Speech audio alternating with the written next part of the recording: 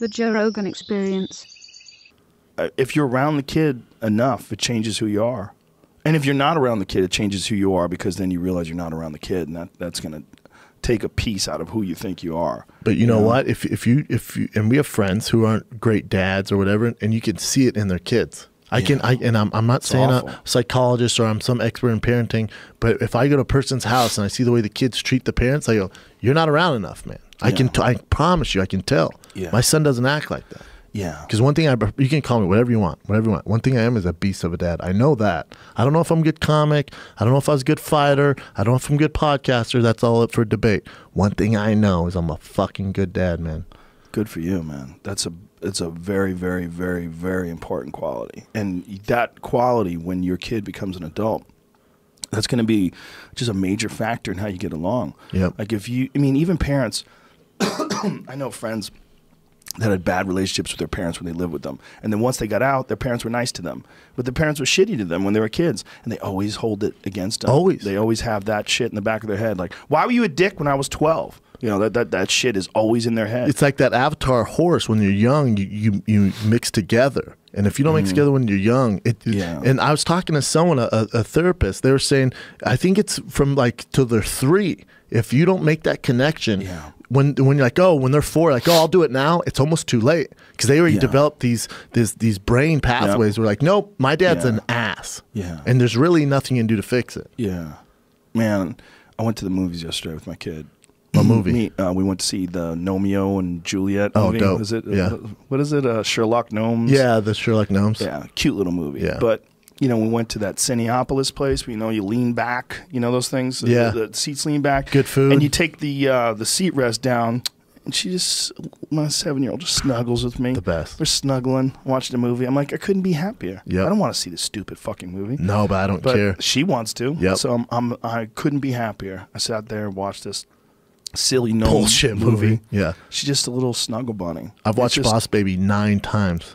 Boss Nine Baby's times. not a bad movie. In like a week though. That's a pretty funny movie though. Boss Baby's great. Alec Baldwin's the voice. I've watched like nine funny. times. But my son, whenever we watch, he snuggles up with me. When usually, this is why I want a daughter. This is why I'm jealous you have daughters. Because daughters love their dads. My son, I'm like, you little traitor, little bitch. Mommy, mommy, like, dude, it's me. Every morning you cry for your mom. Girls are like that too in a lot of ways. It's just- Sometimes. you got to accept the fact that the mom is not just the soft, sweet woman in the house, but she's also the person who made them in her body. Yeah, and there's they chemical connection. out of her body, man. There's no like. My, I had a deal with my wife. Like, I'm not naming any kids. I go, I got veto power. I go, but you do way more work. Like, it's way harder to make the person. I go, as long as you try to call the kid applesauce or something fucking stupid. Yeah. You know, I just don't feel like it's it's not an even proposition. All I did is fuck her. Yeah, which you were gonna do anyways. Which I was gonna do anyways. You But got now we gotta deal with this seed. You know, Yeah, you got a bonus. they get a bonus.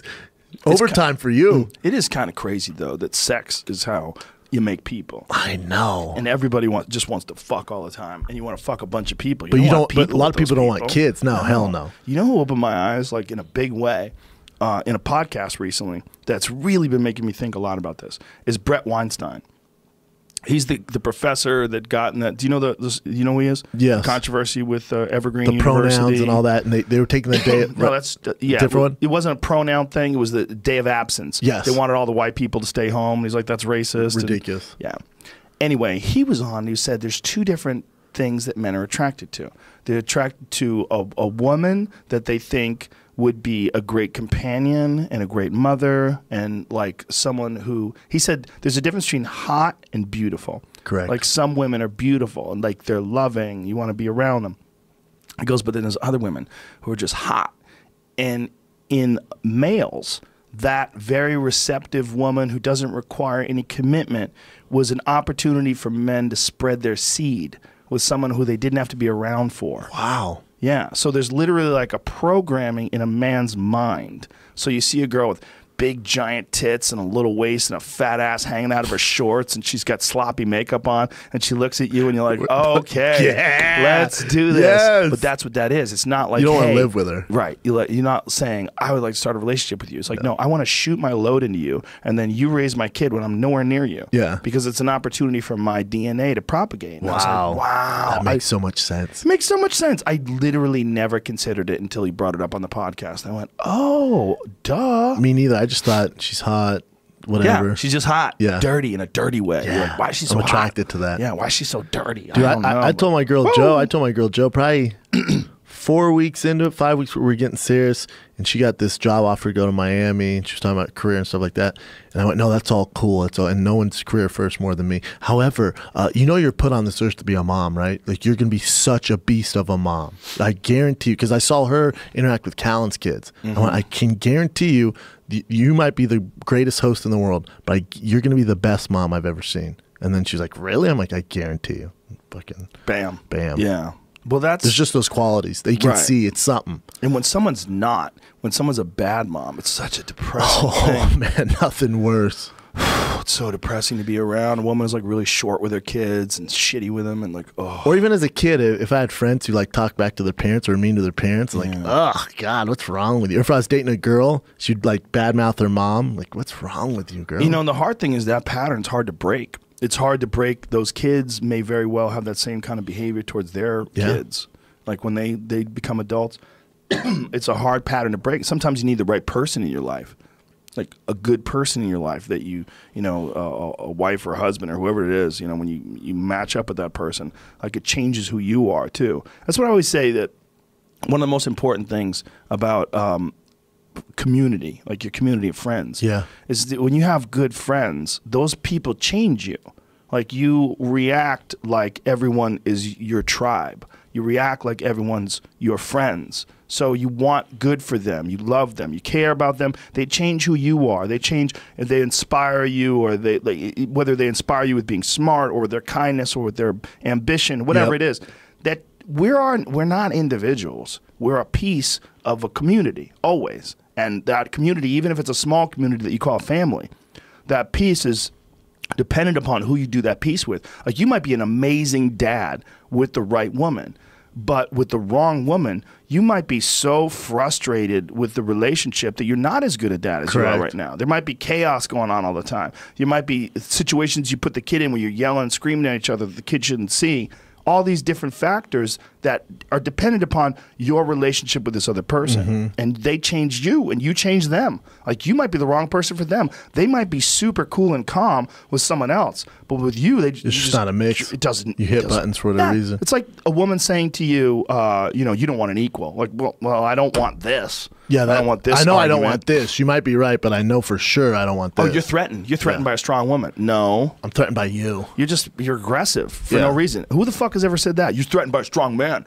Threatened by a strong man. Like know. what? It's like what? Shut up, Change pussy. Tables. I know. What are you calling yourself a strong man? Get the fuck out of here. Any guy who calls himself a strong man like Isn't that, strong. most likely Yeah. is a bitch. Yeah. most likely he's just trying to prop himself I agree. up. And I feel the same way about women who say that shit. I Agree. Women who are like, you know, you're scared of a strong woman. Like, okay, am I really? Or are you a cunt? Yep. Are you a cunt? Just a raging cunt. Is this this cunt talk? This sounds like this cunt this talk? sounds this your all- cunt talk this ran again? Super uncomfortable. I don't know what got us to this position, but whatever I did, please, I'll apologize. But I also feel like in, in, in this community of friends that we're talking about, if you were a shit father, it, it would show elsewhere in your life, oh, like yeah. around us, or Oh, yeah. if we're at the at the comedy store, mm. or we're at a restaurant, or in your in your social media. It's going to come out one way or another, you know. Well, you know and that it'd be tough to be in that group. You know that expression, how you do one thing is how you do everything? Yes. Yeah.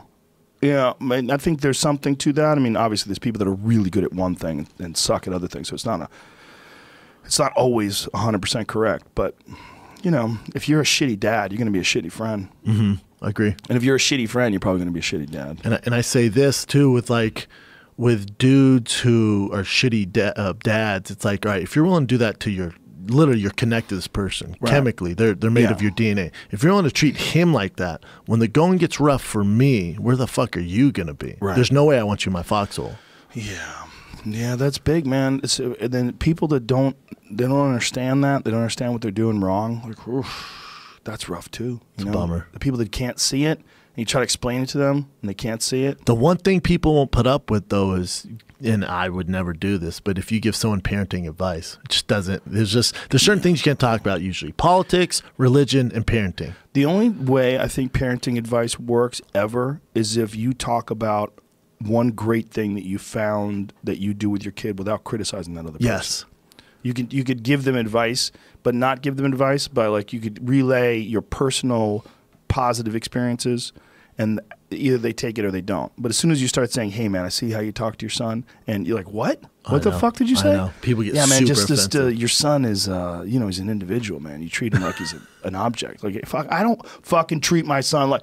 All of It's sudden- on. Game Yeah. over. He's not even listening to what you said. No, you're all ramped Dude, I had a my son was one and a half at the time, and I was taking him to this this play area, and he you know he, he didn't know express himself, and everyone was older, and he'd hit kids, and he's a big kid, he's a 99 percentile for size and all that stuff, and he would hit kids, and the the place where I was taking him in Brentwood knew I was a former fighter. One of the guys who works front desk is a fan. I've talked MMA with him, and they took me to the side and said, you know, we, we got a bit of a problem because Tiger is uh, hitting kids, and we think it's in direct correlation of you letting him watch fights and from what you did. I just started laughing. You guys are silly as fuck. I'm a. I'm never bringing him back. B. He's one and a half. Everyone else in there's three. I mean, yeah, he cold cocked that kid with a left hook, and I'm proud of him. I'm proud of him. That kid took his toy. However, it's just this is what kids do. They hit, man. It's nothing, and we and I tell him no, and I stay on top of my helicopter, the parent the fuck at him when he's in there. But he's he's one and a half. Right. The rest of the kids are older, and uh, trust me, he's not watching UFC. It's not has They nothing to do you're- with. they yeah. think, like, took me to the somehow or side, and this, this lady was like that U of FC or whatever you're Oh, getting into. I was like, oh my god, this is some Brentwood shit, lady. There's a lot of There's that some Brentwood, Brentwood shit, right now. All right, you gotta let 'em- Well- you gotta let them eat dirt. If they hit each other, they hit each other. We're concerned that you're constantly reaffirming his gender without him choosing. Oh, dude. We're concerned.